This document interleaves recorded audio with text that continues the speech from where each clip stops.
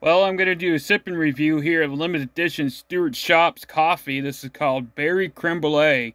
I saw this the other day and I wanted to try this. I didn't know if this was going to be still available, but it is for a limited time only.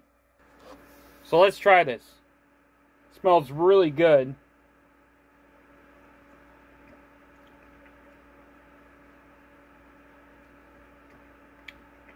Tastes pretty good too.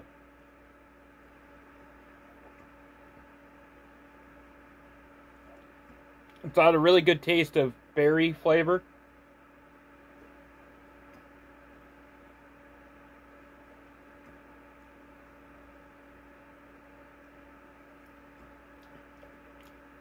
I've Heard of this name before, creme brulee, but I never heard of berry creme brulee before.